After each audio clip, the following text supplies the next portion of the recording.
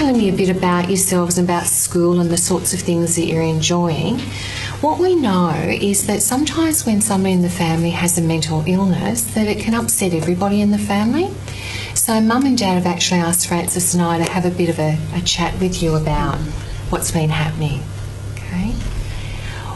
Sophie, what have you noticed has been different about Michael? What have you noticed has been happening?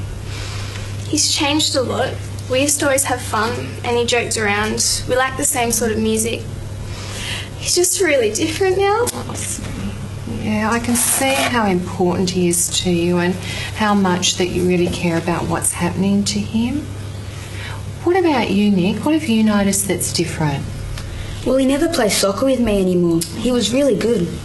I didn't mean to make him sick. I just wanted to kick the ball. Nick, it's not your fault he got sick. Helen, you're right. It's nobody's fault that he got sick. Have you ever known anybody, Nick, that's had a mental illness? No, I've only seen a mental man on the TV and he went to jail. I don't want Michael to go to jail. Oh, mate, he's not going to go to jail. Okay? The police, they actually were helpful. They picked him up and they brought him to the hospital so that we could actually give him some treatment and help him to get a bit better. Okay? Um, do you know what's actually happening with Michael? Michael's actually got something that we call psychosis. Do you know sometimes Michael believes things that aren't real? Have you noticed that? Yeah? And do you know that sometimes he can even hear voices that aren't there? Yeah? Okay. So he's got an imbalance of chemicals in his brain. And what we're doing is we're giving him some medication and that's going to correct that imbalance of chemicals in his brain. Okay? Um, Sometimes, too, we actually know that brothers and sisters can get upset and a bit worried that they might get the illness too, and it's actually not something that you can catch. That's good news.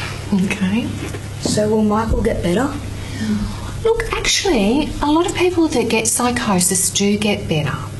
Some people have a few ups and downs, okay, and some people struggle a bit more with the illness, but it's something we're just going to have to wait and see. Yeah.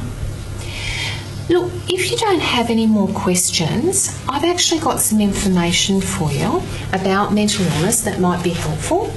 Um, there's a DVD there too.